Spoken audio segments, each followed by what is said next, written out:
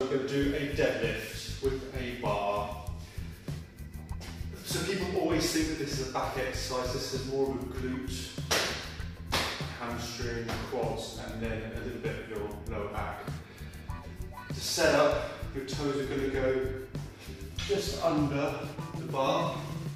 So the bar's right next to your shins. Okay, you're going to be in the middle. Okay, and all you're going to of going down like this, hardly any bend in your knees and lifting with your back, you are going to bend your knees. You're kind of sitting down. You're sitting down. You're not bending forward. I can still see the ceiling in front of me, okay? And all you're going to do is all that weight is in your heels and your, your hamstrings. So you should feel something in the front, knees over bar, backwards, kind of falling backwards but the bar catching you.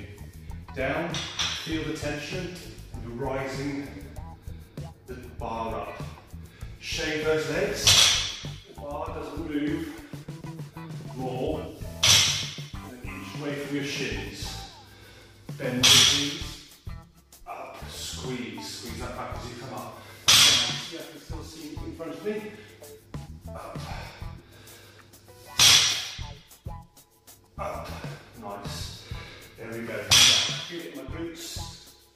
Squeeze up. Down. Still see you. Down. Um, this is wrong.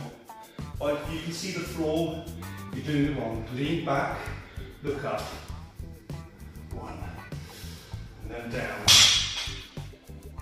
There you go.